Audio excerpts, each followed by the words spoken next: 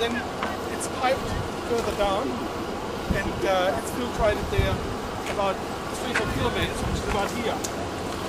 Uh, that's where the water filtration plant is. There's another one where we get later on to Nunamara, which is a St. Patrick's River catchment. that supplies 70%